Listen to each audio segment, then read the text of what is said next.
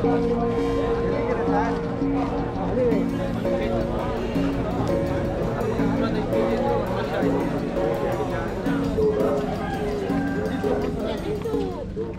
ನಮಸ್ಕಾರ. ನಿಮ್ಮ ಹೆಸರು? ಉಮೇಶ್ ಅಂತ. ಚಿಕ್ಕನಾಗನಹಳ್ಳಿ ತಾಲೂಕು ಕರ್ಮನಹಳ್ಳಿ ಗ್ರಾಮದವರು.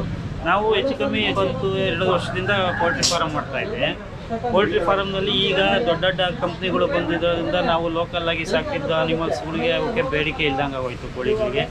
ಅವರು ಜೊತೆ ನಾವು ಫೈಟ್ ಮಾಡೋಕ್ಕಾಗದೇ ಇದ್ದ ಪರ್ಪಸ್ಗೋಸ್ಕರ ನಾವು ಬೇರೆ ಏನಾರು ಮಾಡಬೇಕು ಅನ್ನೋ ಉದ್ದೇಶಕ್ಕೆ ಹುಡುಕುವಾಗ ಈಗ ಟ್ರೆಂಡಿಂಗ್ ಇರೋದು ಬೋಟು ಮತ್ತು ಶೀಪು ಫಾರ್ಮಿಂಗ್ ಇದೆ. ಆದ್ದರಿಂದ ನಾವೇನು ಮಾಡಿದ್ವಿ ಶೀಪು ಫಸ್ಟ್ ಶೀಪ್ ತಂದಿದ್ವಿ.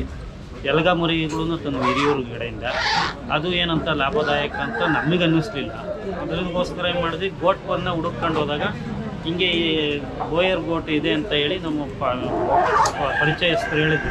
ಅದರಿಂದ ಅವರಿಂದ ಪ್ರೇರಿತನಾಗಿ ನಾನು ಇದನ್ನು ಶುರು ಮಾಡಿದೆ, ಬೋಯರ್ ಗೋಟು. ಬೋಯರ್ ಬೋಟಿಂದ ಅದು ತಲ್ಚರಿಗೆ ಕ್ರಾಸ್ ಮಾಡೋಕ್ಕೆ ಇದು ವಾವಿಬಿಲಿಟಿ ಇರೋದ್ರಿಂದ ಅದ್ರ ತರ್ಚರಿ ಅನಿಮಲ್ಸ್ಗಳನ್ನ ಒಂದು ಮೂವತ್ತೈದು ತಂದು ಇದನ್ನ ಕ್ರಾಸ್ ಮಾಡಿಸ್ಕೊಂಡು ಬ್ರೀಡಿಂಗ್ ಸ್ಟಾರ್ಟ್ ಮಾಡಿ ಸರ್ ಎಷ್ಟು ಮರಿಗಳಿದ್ದಾವೆ ನಿಮ್ಮ ಫಾರ್ಮಲ್ಲಿ ನಮ್ಮ ಫಾರ್ಮಲ್ಲಿ ಟೋಟಲ್ ಏಯ್ಟಿ ಅನಿಮಲ್ಸ್ ಇದ್ದಾವೆ ತಲ್ಚೇರಿ ಕ್ರಾಸಿಂಗ್ ಒಂದು ತರ್ಟಿ ಇದ್ದಾವೆ ಬೋಯರ್ ಕ್ರಾಸಿಂಗ್ ಒಂದು ಸಿಕ್ಸ್ಟೀನ್ ಸೆವೆಂಟೀನ್ ಇದೆ. ಏನು ರೇಟ್ ಕೊಡ್ತಾ ಇದ್ದೀರಾ ಸರ್ ಬಾಯರ್ ಕ್ರಾಸಿಂಗ್ ಮರಿಗಳು? ಅದು ತೂಕದ ಮೇಲೆ ಒಂದೂವರೆ ಸಾವಿರದಿಂದ ಮೂರುವರೆ ಸಾವಿರದವರೆಗೂ K G per K G ನಡೀತಾ ಇದೆ.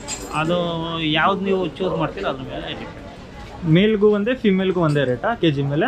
ಫಿಮೇಲಿಗೆ ಸ್ವಲ್ಪ ಜಾಸ್ತಿ ರೇಟ್ ಇರುತ್ತೆ ಮೇಲಿಗೆ ಸ್ವಲ್ಪ ಕಮ್ಮಿ ಇರುತ್ತೆ. ಸರ್ ಎಷ್ಟು ಬೋಯರ್ ಬ್ರೀಡರ್ಗಳಿದಾವೆ ನಿಮ್ಮ ಹತ್ರ? ನನ್ನ ಹತ್ರ ಬೋಯರ್ ಬ್ರೀಡರ್ ಇದೆ ಏನು ರೇಟ್ ಕೋಟ್ ಮಾಡ್ತಾ ಇದ್ದೀರಾ ಸರ್ ಒಂದೊಂದು?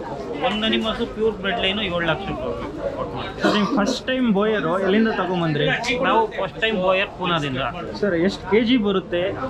ಇದು ಹೆಚ್ಚು ಕಮ್ಮಿ ಇಲ್ಲಿ ಇಲ್ಲಿ ತೋರಿಸ್ತೀರಾ ನಿಮ್ಮಲ್ಲಿ ಇದು ಪ್ಯೂರ್ತಿ ಬ್ರೆಡ್ ಲೈನು ಇದು ಇನ್ನೂ ಹನ್ನೊಂದುವರೆ ತಿಂಗಳು. ಹೆಚ್ಚು ಕಮ್ಮಿ ಸಿಕ್ಸ್ಟಿ ಫೈವ್ ಕೆ ಜಿ ಬಂದಿದೆ. ಇದೊಂದಿದೆ ಇದು ಎರಡಲ್ಲಾಗಿದೆ ಇದು ಹೆಚ್ಚು ಕಮ್ಮಿ ಅಲ್ಲಿಗೆ ವರ್ಷದ ಮೇಲೆ ಮೂರು ತಿಂಗಳು ಹದಿನೈದು ತಿಂಗಳಾಗಿದೆ. ಇದು ಏಯ್ಟಿ ಫೈವ್ ಕೆ ಜಿ ಇದೆ. ಅಂದಾಜು ಎಷ್ಟು ತಿಂಗಳು ಆದ್ಮೇಲೆ ನೀವು ಮಾರುತ್ತೀರಾ? ನಮ್ದು ಫೈವ್ ಆ್ಯಂಡ್ ಹಾಫ್ ಇಂದ ಸಿಕ್ಸ್ ಮಂತ್ಸ್ ಅಷ್ಟೊತ್ತಿಗೆ ನಮ್ದು ಹತ್ರ ಹೆಚ್ಚು ಕಮ್ಮಿ ತರ್ಟಿ ಫೈವ್ ಟ್ವೆಂಟಿ ಫೈವ್ ಇಂದ ತರ್ಟಿವರೆಗೂ ಕೆ ಜಿ ವೆಯ್ಟ್ ಗೈನ್ ಆಗೋಗಿರುತ್ತೆ. ಸರ್ ಈ ಆಫ್ರಿಕನ್ ಬೋಯರ್ ಬ್ರೀಡ್ ಮೇಂಟೈನ್ ಮಾಡೋಕ್ಕೆ ಎಕ್ಸ್ಟ್ರಾ ಏನಾದ್ರು ಸ್ಕಿಲ್ಸ್ ಬೇಕಾ? ನೋ ಚಾನ್ಸ್ ಏನು ಮಾಮೂಲಿ ಗೋಟಿಗೆ ನೀವು ಮಾಡ್ತೀರೋ ಅದೇ ಇದಕ್ಕೆ ಅದ್ರ ಜೊತೆಗೆ ಅದೇ ಅಟ್ಮಾಸ್ಫಿಯರ್ಗೂ ಹೊಂದುತ್ತೆ ಇದು.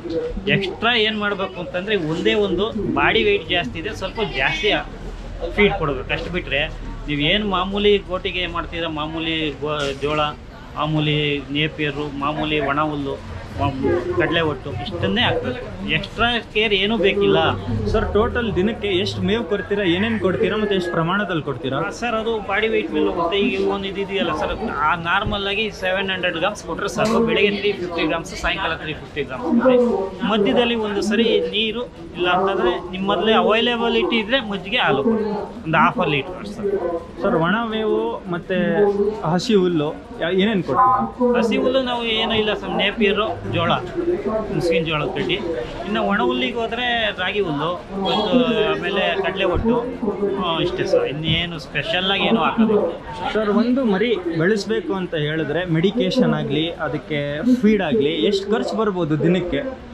ದಿನಕ್ಕೆ ನಮ್ಮದು ಏಯ್ಟಿ ಅನಿಮಲ್ಸ್ ಇದೆ. ಡೈಲಿ ಫೀಡಿಂಗ್ಗೋಸ್ಕರ ಒಂದು ಎಂಟುನೂರು ರೂಪಾಯಿ ಬರ್ತಾ ಇದೆ.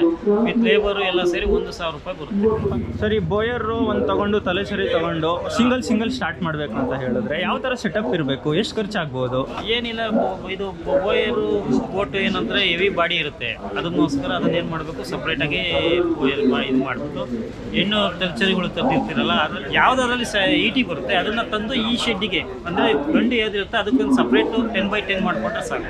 ಅದರೊಳಗೆ ತಗೊಂಡು ಹೋದರೆ ಅದು ಕ್ರಾಸ್ ಇದೇ ಗೋಟ್ನ ಏನಾದರೂ ಅದರೊಳಗೆ ಬಿಟ್ಬಿಟ್ರೆ ಇದು ಬಾಡಿ ವೆಯ್ಟು ಪ್ಲಸ್ ಇದು ಮಾಡೋ ಗಾಬರಿಗೆ ಹೆಣ್ಣು ಕಲ್ಚರಿಗಳು ವೀಕ್ ಆಗ್ಬೋದು ಕ್ರಾಸ್ ಮಾಡಬೇಕಂದ್ರೆ ಎಷ್ಟು ಕೆ ಜಿ ಇರ್ಬೇಕು ಸರ್ ಒಂದು ಫೀಮೇಲ್ ಟ್ವೆಂಟಿ ಟು ಇಂದ ಟ್ವೆಂಟಿ ಏಯ್ಟ್ ಇಯರ್ಸ್ ಬಟ್ ಅದೇನಂದ್ರೆ ಈಟಲ್ಲಿ ಇದ್ದಾಗ ಅದು ಈ ಬಾಡಿ ವೆಯ್ಟು ಕಂಟ್ರೋಲ್ ಮಾಡ್ತಾರೆ. ಸಿಕ್ಸ್ ಇಷ್ಟು ಒನ್ ನೀವು ರೆಕಮೆಂಡ್ ಮಾಡ್ತೀರಾ? ಬಟ್ ಫಿಫ್ಟೀನ್ವರೆಗೂ ಮಾಡ್ಬೋದು. ಆದರೆ ಫಸ್ಟ್ ಟೈಮ್ ನಿಮಗೆ ಆದಷ್ಟು ಸಿಕ್ಸ್ ಅನಿಮಲ್ಸ್ ಇರಲೇಬೇಕು. ಸರಿ ಸಿಕ್ಸ್ ಇಷ್ಟು ಒನ್ಗೆ ಎಷ್ಟು ಖರ್ಚು ಆಗ್ಬೋದು ಸರ್ ಇವರು ವೈರ್ ಎಲ್ಲ ರೈತರು ಕೊಳ್ಳೋಕ್ಕಾಗಲ್ಲ. ಇದರಲ್ಲಿ ಕಾಸ್ಟ್ ಮಾಡಿರೋ ಅಲ್ಲಿ ತಂದರೆ ತರ್ಟಿ ಪರ್ಸೆಂಟ್ ಇರುತ್ತೆ. ಅದರಲ್ಲಿ ನೀವು ಎನ್ಲಾರ್ಜ್ ಮಾಡ್ಕೊಬೋದು. ಅರೌಂಡ್ ಪ್ಯಾಕೇಜ್ ಒಂದು ಒಂದೂವರೆ ಲಕ್ಷ ರೂಪಾಯಿ ಸಿಗುತ್ತೆ. ನೀವು ಎಲ್ಲಿ ಚೂಸ್ ಮಾಡೋ ಅನಿಮಲ್ ಮೇಲೂ ಯಾವುದೇ ಕಾರಣಕ್ಕೂ ನೀವು ಶೆಡ್ಡಿಗೆ ಜಾಸ್ತಿ ಅಮೌಂಟು ಇನ್ವೆಸ್ಟ್ ಮಾಡಬೇಡಿ. ಇದರಲ್ಲಿ ಈಗ ನೋಡಿ ಸರ್ ಮೇಯ್ನು ರೈತರಿಗೋಸ್ಕರ ಹೇಳ್ತಾ ಇರೋದು ಈ ಥರ ಪಾಟ್ಲ ಉಪಯೋಗಿಸ್ಬಿಟ್ಟು ನೀವು ಭೂಮಿ ಮೇಲೆ ಮಾಡ್ಬೋದು. ಪಾಟ್ಲ ಎತ್ಕೊಂಡು ಬಿಡಿಸ್ಬೇಕು ಪಾಟ್ಲ ಒಂದು ಸ್ವಲ್ಪ ತಗೊಂಡು ಇದನ್ನು ಹೊಸದಾಗಿ ನಾವು ಇಂಟ್ರಡ್ಯೂಸ್ ಮಾಡಿರೋದು ಮಣ್ಣು ಮೇಲೆ ಮಾಡ್ಬೋದು. ಜಾಸ್ತಿ ಆದಷ್ಟು ರೈತರು ಶೆಡ್ಡಿಗೆ ಇನ್ವೆಸ್ಟ್ ಮಾಡಬೇಡಿ. ಅನಿಮಲ್ಸ್ಗೆ ಒಳ್ಳೆ ಅನಿಮಲ್ಸ್ಗೆ ಪರ್ಚೇಸ್ ಮಾಡಿ. ಎಷ್ಟು ವರ್ಷದಿಂದ ಮಾಡ್ತಾ ಇದ್ದೀರಾ ಸರ್ ಈ ಸೆಟ್ ನಾನು ಹೇಳಿದ್ನಲ್ಲ ಇನ್ನು ಸ್ಟಾರ್ಟ್ ಮಾಡಿ ಹನ್ನೊಂದೇ ತಿಂಗಳು ಒಳ್ಳೆ ರೆಸ್ಪಾನ್ಸ್ ಸಿಗ್ತಿದೆ. ಮತ್ತೆ ಮಾರ್ಕೆಟ್ ಇದೆ. ಎಕ್ಸ್ಪೆಂಡ್ ಮಾಡೋದು ಏನಾದರೂ ಪ್ಲ್ಯಾನ್ ಇದೆ ಸರ್? ಹಂಡ್ರೆಡ್ ಪರ್ಸೆಂಟ್ ಸರ್ ನಿಮ್ಮ ಫೋನ್ ನಂಬರ್ ಕೊಡಿ. ನಮ್ಮ ಜಿತಿನ್ ಫಾರಮ್ ಅಂತ. ನಮ್ಮ ಫೋನ್ ಫೋನ್ ನಂಬರ್ ಒಂದು eight zero seven three six zero five one okay sir ಎಲ್ಲ ಮಾಹಿತಿಗೆ ಧನ್ಯವಾದಗಳು. ಥ್ಯಾಂಕ್ಸ್